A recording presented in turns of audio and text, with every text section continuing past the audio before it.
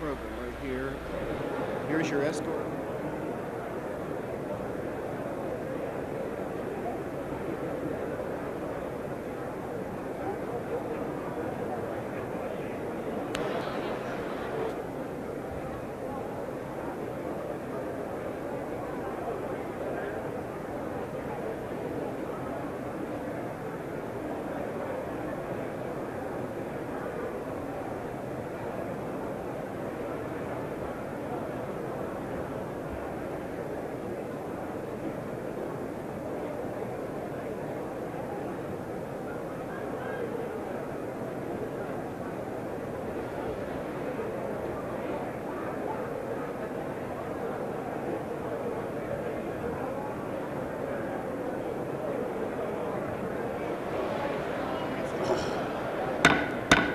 Mr. Speaker, the Vice President of the United States, the United States Senate. Admit the Vice President of the United States and the United States Senate.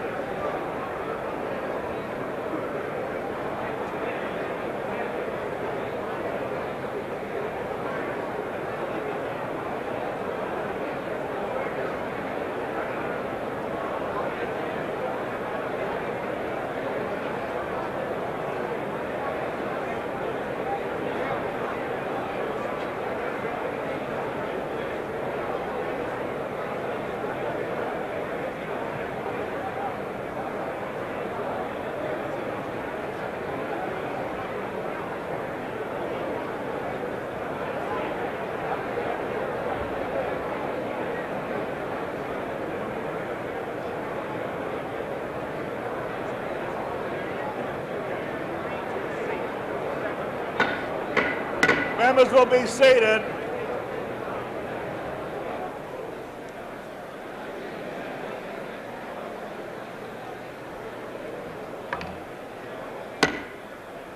House will be in order. The chair appoints as members of a committee on the part of the House to escort the President of the United States into the chamber the gentleman from Texas, Mr. Wright, the gentleman from Washington, Mr. Foley, the gentleman from Louisiana, Mr. Long, the gentleman from Arkansas, Mr. Alexander, the gentleman from California, Mr. Don Edwards, gentleman from Illinois, Mr. Michel, gentleman from Mississippi, Mr. Lott, gentleman from New York, Mr. Kemp, the gentleman from Arizona, Mr. Rhodes, and the gentleman from California, Mr. Clausen. Will the gentlemen step in front of the rostrum and then go about their duty? Now me, Jeff. Chair appoints the following senators on the part of the Senate to escort the President of the United States into the House chamber. The Senator from Tennessee, Mr. Baker. The Senator from South Carolina, Mr. Thurmond. The Senator from Idaho, Mr. McClure. The Senator from Texas, Mr. Tower. The Senator from Utah, Mr. Garn. The Senator from Oregon, Mr. Packwood. The Senator from California, Mr. Hayakawa. The Senator from West Virginia, Mr. Byrd. Senator from California, Mr. Cranston. The Senator from Hawaii, Mr. Inouye. The Senator from Texas, Mr. Bentsen. The Senator from Tennessee, Mr. Sasser. The Senator from Maryland, Mr. Sarbanes.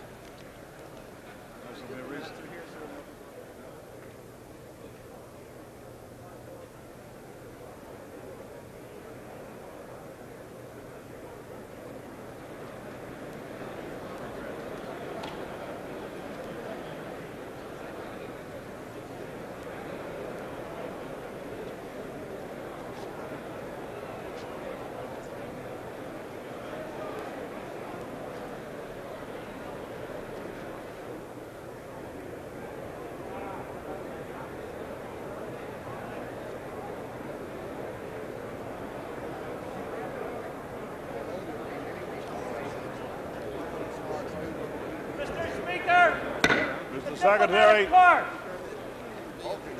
the gentleman will admit the ambassadors, the ministers, and the chargé d'affaires of foreign governments.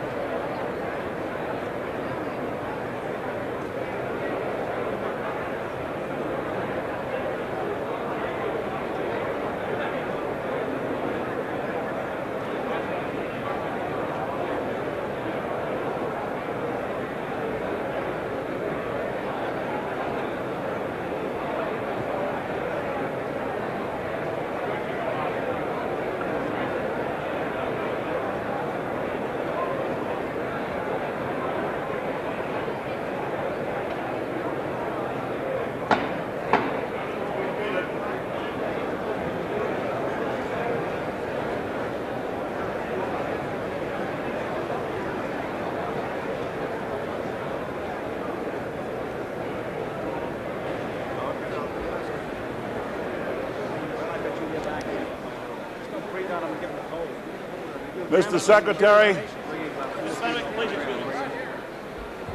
Speaker, the Chief Justice of the Supreme Court, the Associate Justice. admit the Chief Justice and the Associate Justices.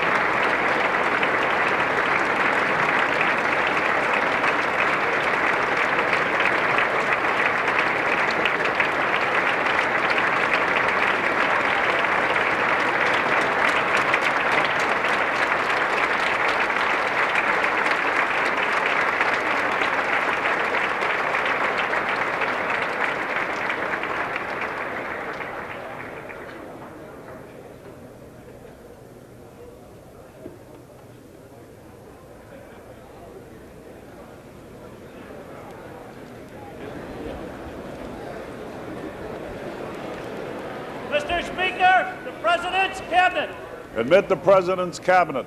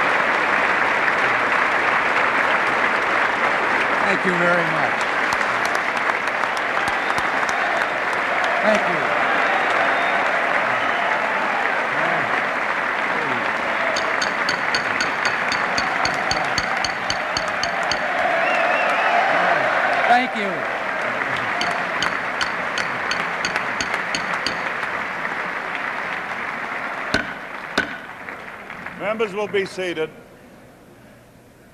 Members of the Congress, I have the high privilege and the distinct honor of presenting to you the President of the United States. Thank you, Mr.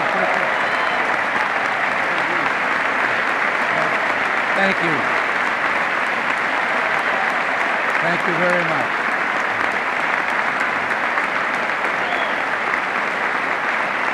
Thank you.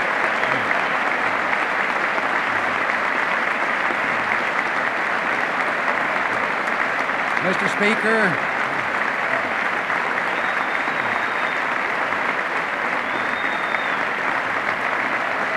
thank you.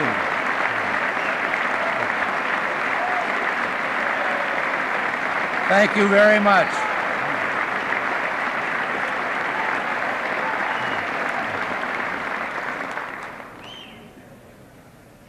Mr. Speaker, Mr. President, distinguished members of the Congress, honored guests, and fellow citizens. Today marks my first State of the Union address to you, a constitutional duty as old as our republic itself. President Washington began this tradition in 1790 after reminding the nation that the destiny of self government and the preservation of the sacred fire of liberty is finally staked on the experiment entrusted to the hands of the American people. For our friends in the press who place a high premium on accuracy, let me say, I did not actually hear George Washington say that.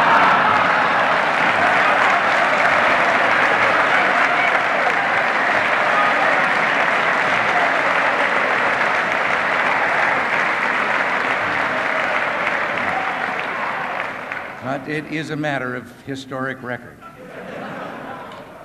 But from this podium, Winston Churchill asked the free world to stand together against the onslaught of aggression.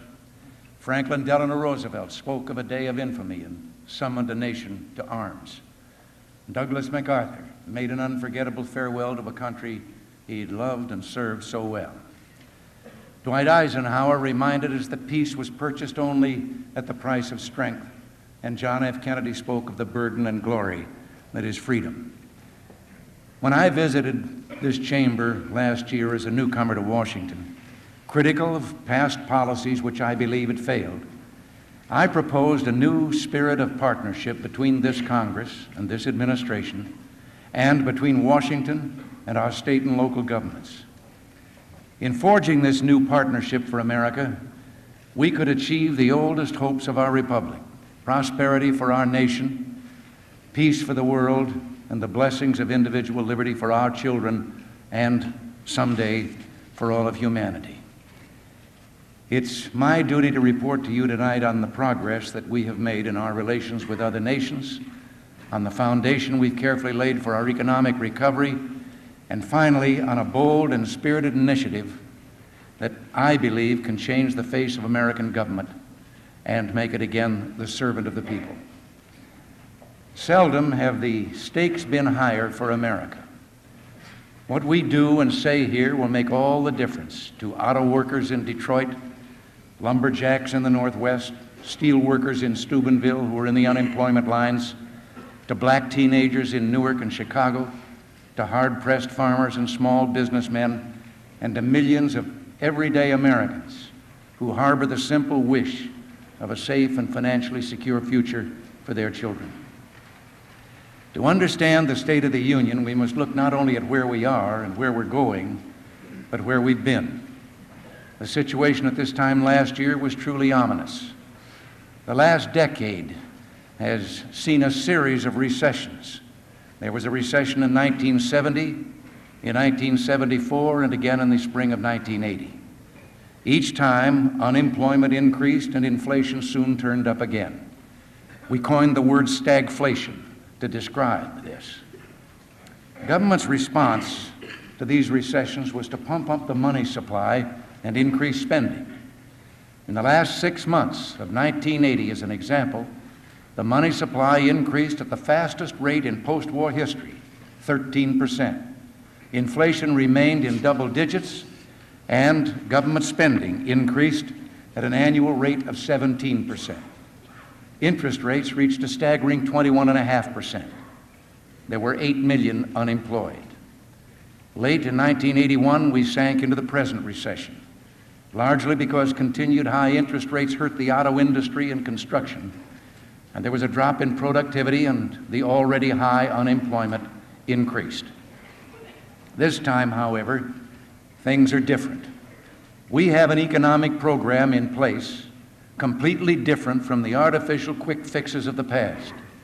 It calls for a reduction of the rate of increase in government spending, and already that rate has been cut nearly in half. But reduced spending alone isn't enough. We've just implemented the first and smallest phase of a three year tax rate reduction designed to stimulate the economy and create jobs. Already, interest rates are down to 15 and three quarter percent, but they must still go lower. Inflation is down from 12.4% to 8.9, and for the month of December it was running at an annualized rate of 5.2%. If we had not acted as we did, things would be far worse for all Americans than they are today.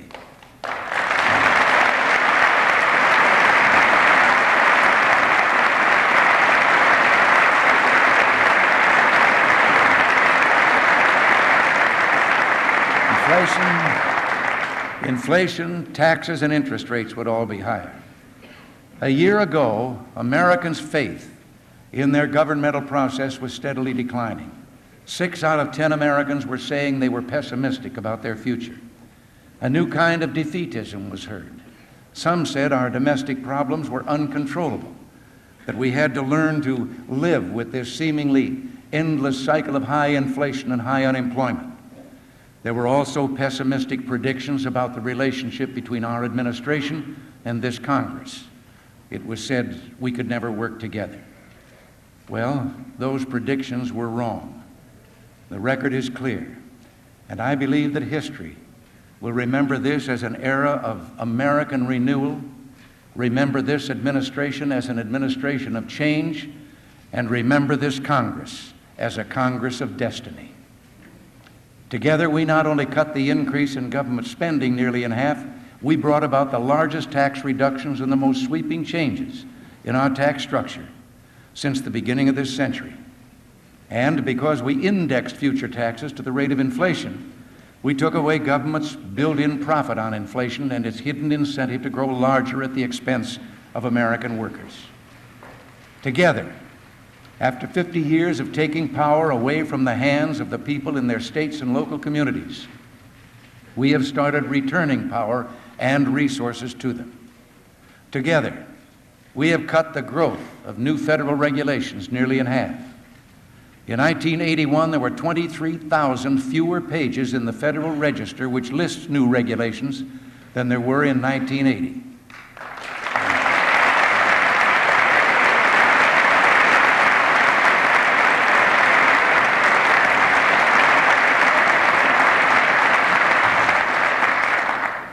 By deregulating oil, we've come closer to achieving energy independence and helped bring down the cost of gasoline and heating fuel. Together, we have created an effective federal strike force to combat waste and fraud in government.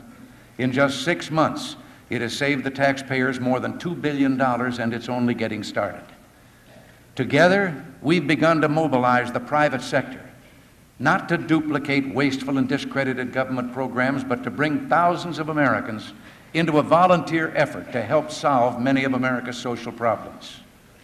Together, we've begun to restore that margin of military safety that ensures peace. Our country's uniform is being worn once again with pride.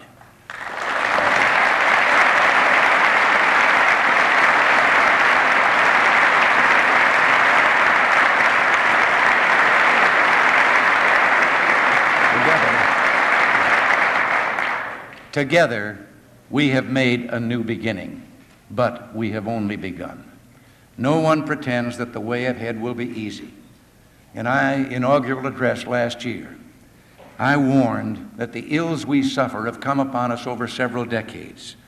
They will not go away in days, weeks, or months, but they will go away because we as Americans have the capacity now, as we've had it in the past, to do whatever needs to be done to preserve this last and greatest bastion of freedom.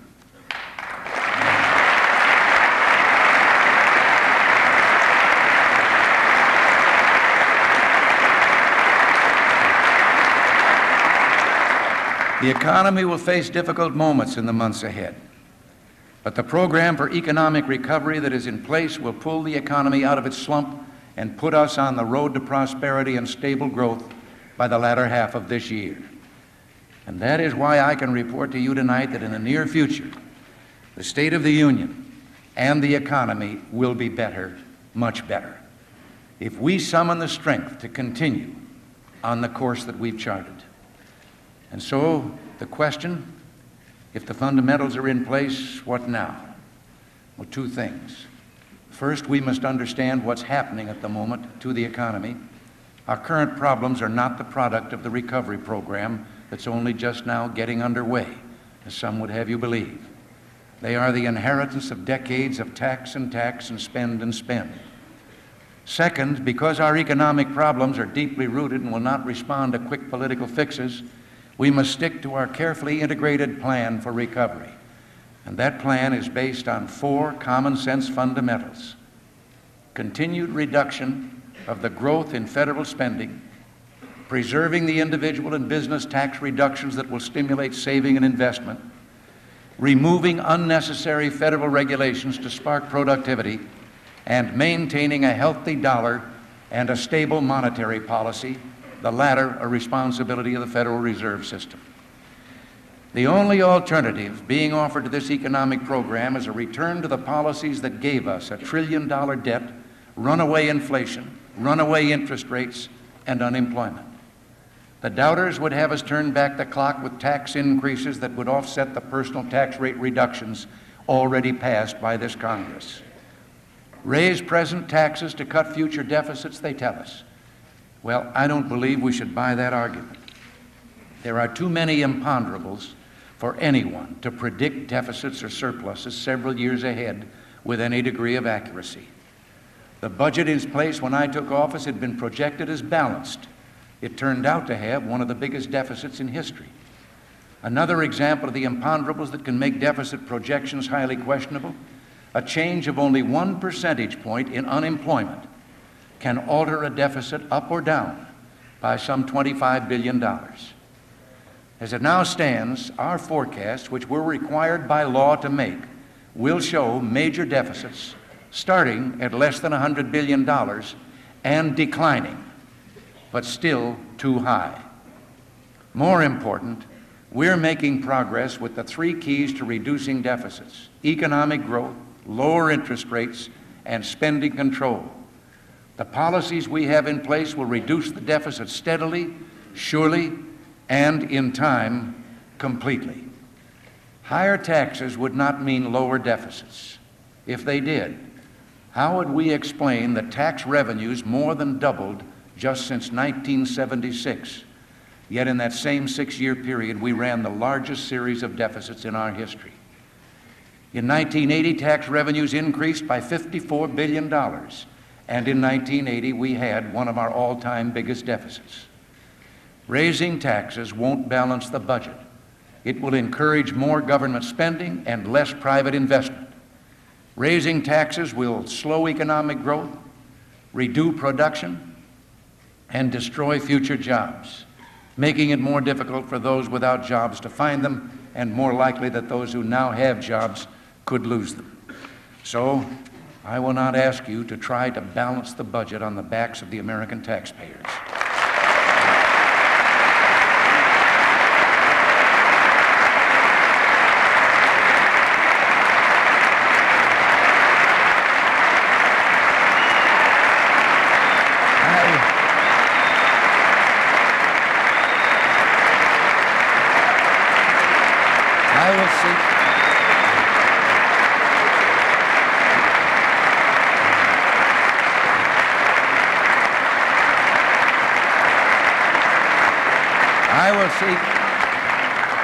I will seek no tax increases this year, and I have no intention of retreating from our basic program of tax relief.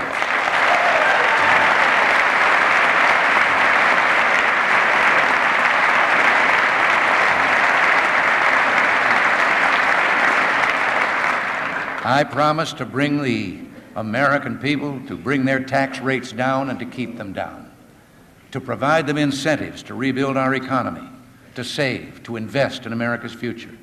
I will stand by my word. Tonight, I'm urging the American people seize these new opportunities to produce, to save, to invest, and together we'll make this economy a mighty engine of freedom, hope, and prosperity again.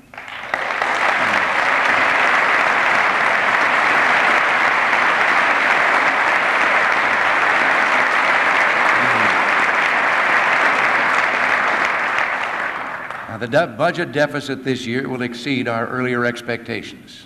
The recession did that. It lowered revenues and increased costs. To some extent, we're also victims of our own success. We brought inflation down faster than we thought we could, and have thus deprived.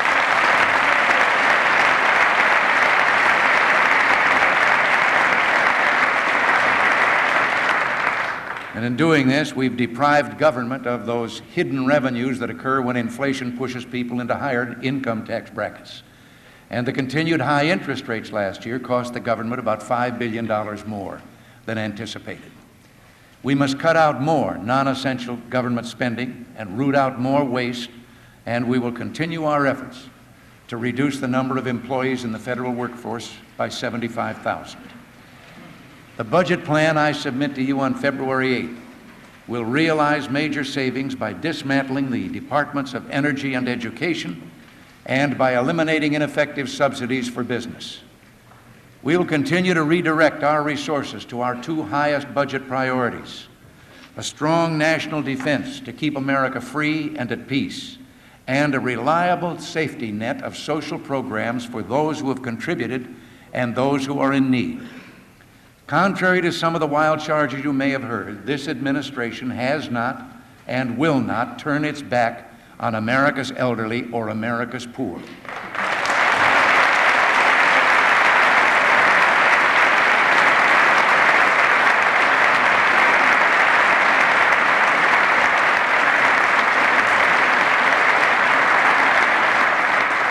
Under the new budget, funding for social insurance programs will be more than double the amount spent only six years ago. But it would be foolish to pretend that these or any programs cannot be made more efficient and economical. The entitlement programs that make up our safety net for the truly needy have worthy goals and many deserving recipients. We will protect them.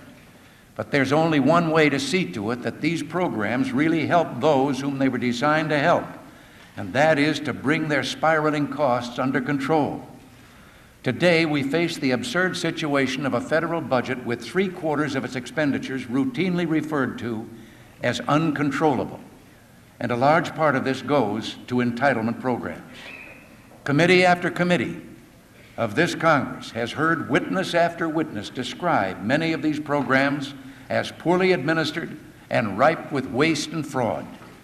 Virtually every American who shops in a local supermarket is aware of the daily abuses that take place in the food stamp program, which has grown by 16,000% in the last 15 years.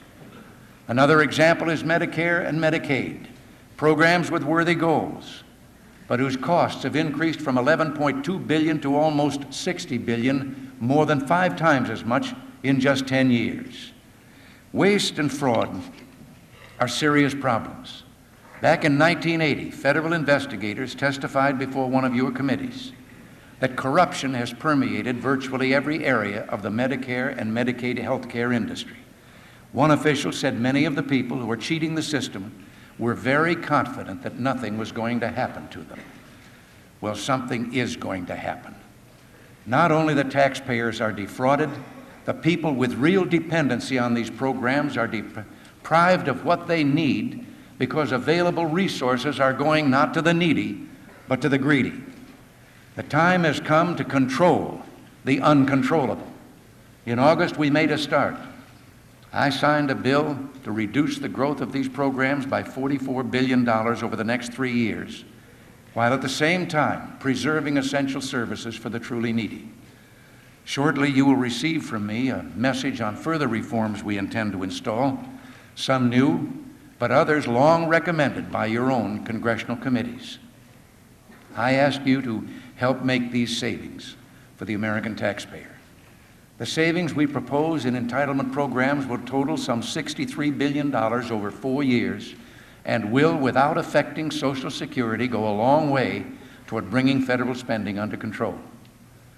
But don't be fooled by those who proclaim that spending cuts will deprive the elderly, the needy, and the helpless. The federal government will still subsidize 95 million meals every day. That's one out of seven of all the meals served in America. Head Start, senior nutrition programs, and child welfare programs will not be cut from the levels we proposed last year. More than one half billion dollars has been proposed for minority business assistance. And researchers at the National Institute of Health will be increased by over $100 million. While meeting all these needs, we intend to plug unwarranted tax loopholes and strengthen the law which requires all large corporations to pay a minimum tax. I am.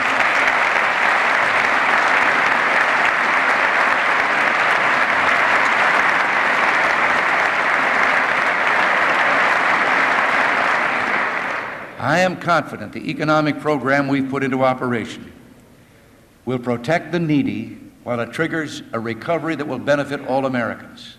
It will stimulate the economy, result in increased savings, and provide capital for expansion, mortgages for home building, and jobs for the unemployed.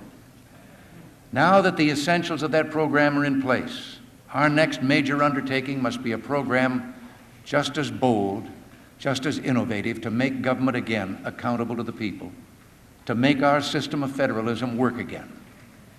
Our citizens feel they've lost control of even the most basic decisions made about the essential services of government, such as schools, welfare, roads, and even garbage collection.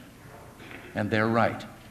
A maze of interlocking jurisdictions and levels of government confronts average citizens in trying to solve even the simplest of problems they don't know where to turn for answers, who to hold accountable, who to praise, who to blame, who to vote for or against. The main reason for this is the overpowering growth of federal grants and aid programs during the past few decades. In 1960, the federal government had 132 categorical grant programs costing $7 billion. When I took office, there were approximately 500 costing nearly $100 billion. 13 programs for energy, 36 for pollution control, 66 for social services, 90 for education. And here in the Congress, it takes at least 166 committees just to try to keep track of them. You know and I know that neither the President nor the Congress can properly oversee this jungle of grants in aid. Indeed, the growth of these grants has led to the distortion in the vital functions of government. As one Democratic governor put it recently, the national government should be worrying about arms control, not potholes. The growth.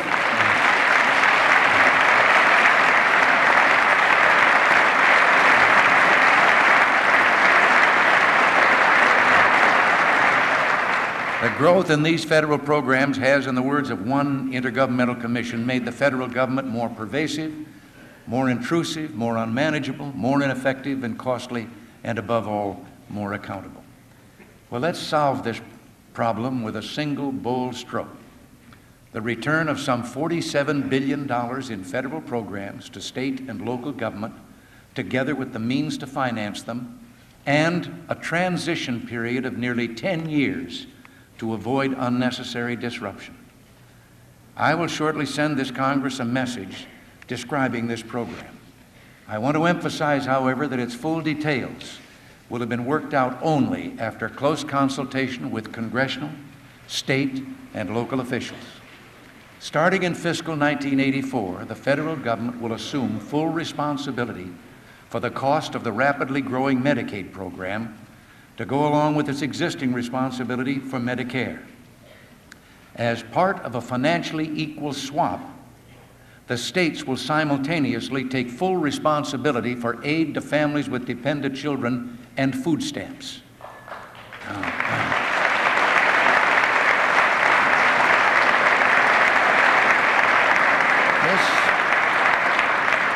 This, will make welfare less costly and more responsive to genuine need because it'll be designed and administered closer to the grassroots and the people it serves. In 1984, the federal government will apply the full proceeds from certain excise taxes to a grassroots trust fund that will belong in fair shares to the 50 states. The total amount flowing into this fund will be $28 billion a year. Over the next four years, the states can use this money in either of two ways. If they want to continue receiving federal grants in such areas as transportation, education, and social services, they can use their trust fund money to pay for the grants, or to the extent they choose to forego the federal grant programs, they can use their trust fund money on their own for those or other purposes. There will be a mandatory pass through of part of these funds to local governments. By 1988, the states will be in complete control of over 40 federal grant programs. The trust fund will start to phase out, eventually to disappear, and the excise taxes will be turned over to the states. They can then preserve, lower, or raise taxes on their own and fund and manage these programs as they see fit. In a single stroke, we will be accomplishing a realignment that will end cumbersome administration and spiraling costs at the federal level while we ensure these programs will be more responsive to both the people they're meant to help and the people who pay for them. Hand in hand with this program to strengthen the discretion and flexibility of state and local governments, we're proposing legislation for an experimental effort to improve and develop our depressed urban areas in the 1980s and 90s. This legislation will permit states and localities to apply to the federal government for designation as urban enterprise zones. A broad range of special economic incentives in the zones, in the zones will help attract new business, new jobs, new opportunity to America's inner cities and rural towns. Some will say our mission is to save free enterprise. Well, I say we must free enterprise so that together we can save America.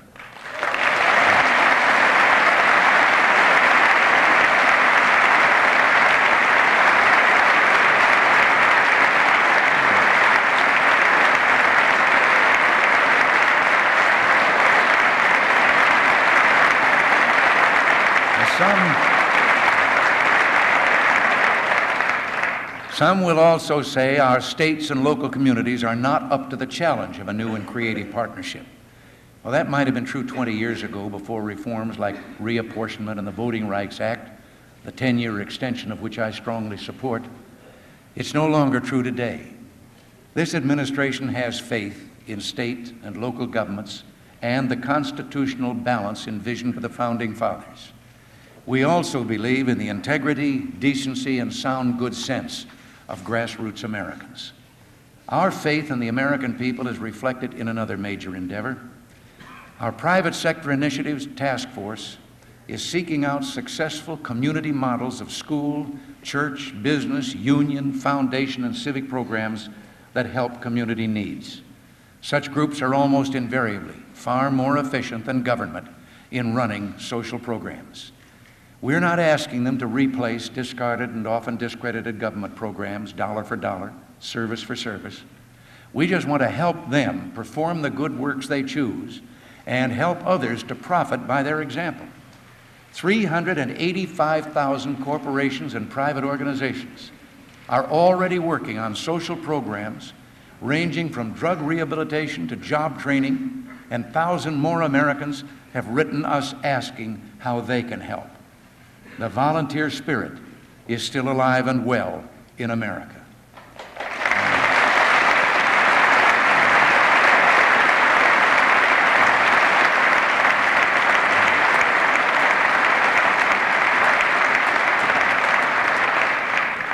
Our nation's long journey towards civil rights for all our citizens, once a source of discord, now a source of pride, must continue with no backsliding or slowing down. We must and shall see that those basic laws that guarantee equal rights are preserved and, when necessary, strengthened. Our concern for equal rights for women is firm and unshakable. We launched a new task force on legal equity for women and a 50 states project that will examine state laws for discriminatory language. And for the first time in our history, a woman sits on the highest court in the land.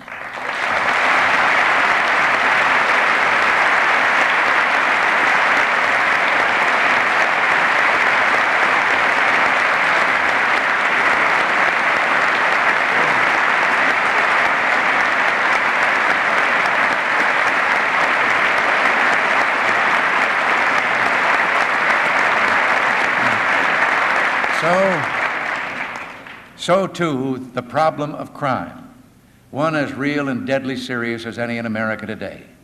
It demands that we seek transformation of our legal system, which overly protects the rights of criminals while it leaves society and the innocent victims of crime without justice. We look forward to the enactment of a responsible Clean Air Act to increase jobs while continuing to improve the quality of our air. We're encouraged by the bipartisan initiative of the House and are hopeful of further progress as the Senate continues its deliberations. So far, I've concentrated largely now on domestic matters. To view the State of the Union in perspective, we must not ignore the rest of the world. There isn't time tonight for a lengthy treatment of social or foreign policy, I should say, a subject I intend to address in detail in the near future.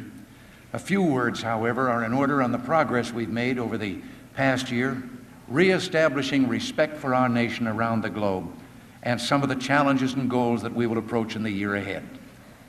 At Ottawa and Cancun, I met with leaders of the major industrial powers and developing nations. Now, some of those I met were, with were a little surprised that I didn't apologize for America's wealth. Instead, I spoke of the strength of the free marketplace system and how that system could help them realize their aspirations for economic development and political freedom. I believe lasting friendships were made and the foundation was laid for future cooperation. In the vital region of the Caribbean Basin, we're developing a program of aid, trade, and investment incentives to promote self sustaining growth and a better, more secure life for our neighbors to the south. Toward those who would export terrorism and subversion in the Caribbean and elsewhere, especially Cuba and Libya, we will act with firmness.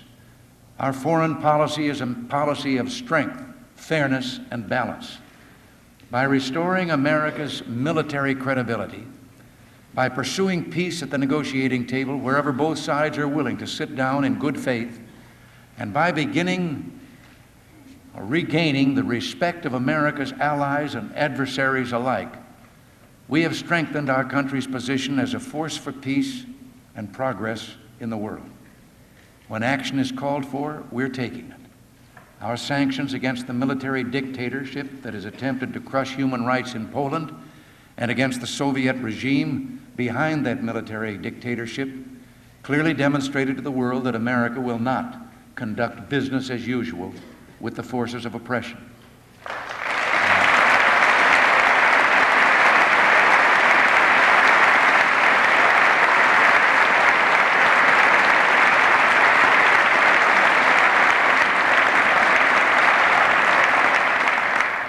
If the events in Poland continue to deteriorate, further, deteriorate, further measures will follow.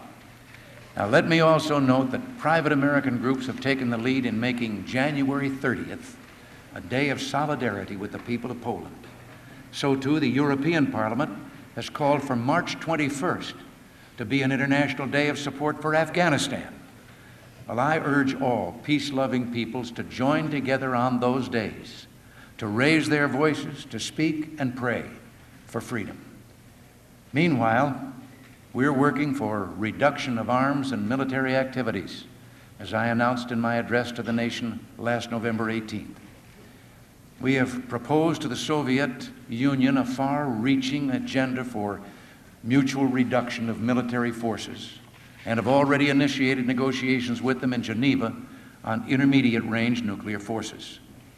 In those talks, it is essential that we negotiate from a position of strength. There must be a real incentive for the Soviets to take these talks seriously. This requires that we rebuild our defenses. In the last decade, while we sought the moderation of Soviet power through a process of restraint and accommodation, the Soviets engaged in an unrelenting buildup of their military forces.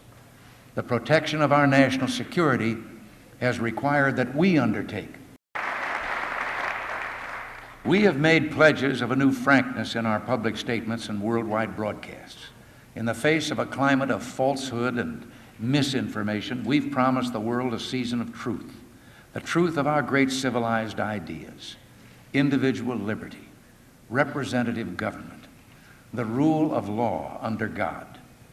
We've never needed walls or minefields or barbed wire to keep our people in, nor do we declare martial law to keep our people from voting for the kind of government they want. Yes, we have our problems. Yes, we're in a time of recession. And it's true there's no quick fix, as I said, to instantly end the tragic pain of unemployment. But we will end it. The process has already begun, and we'll see its effect as the year goes on. We speak with pride and admiration of that little band of Americans who overcame insuperable odds to set this nation on course 200 years ago. But our glory didn't end with them. Americans ever since have emulated their deeds. We don't have to turn to our history books for heroes, they're all around us. One who sits among you here tonight epitomized that heroism at the end of the longest imprisonment ever inflicted on men of our armed forces. Who will ever forget that night when we waited for television to bring us the scene of that first plane landing at Clark Field in the Philippines, bringing our POWs home? The plane door opened, and Jeremiah Denton came slowly down the ramp. He caught sight of our flag, saluted it, said, God bless America, and then thanked us for bringing him home.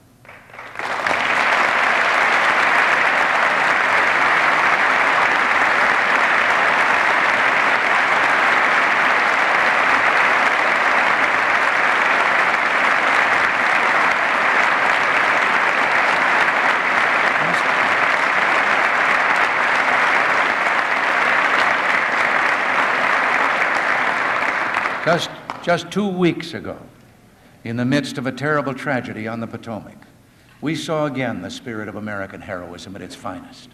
The heroism of dedicated rescue workers saving crash victims from icy waters. And we saw the heroism of one of our young government employees, Lenny Skutnik, who, when he saw a woman lose her grip on the helicopter line, dived into the water and dragged her to safety.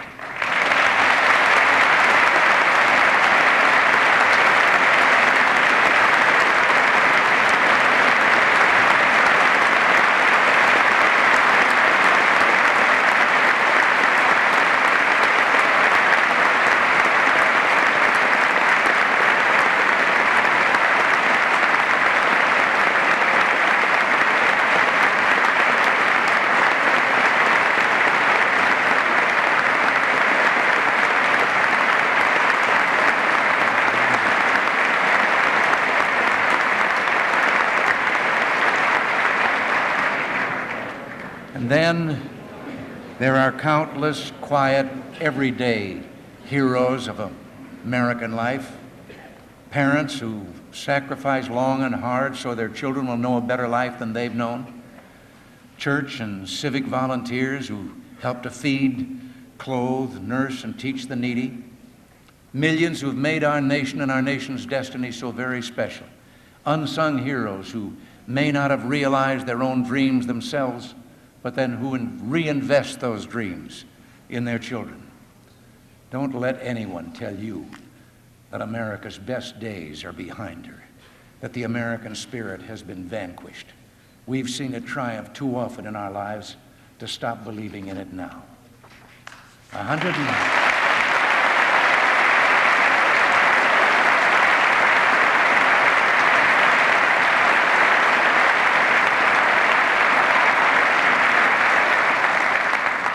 120 years ago, the greatest of all our presidents delivered his second State of the Union message in this chamber. We cannot escape history, Abraham Lincoln warned.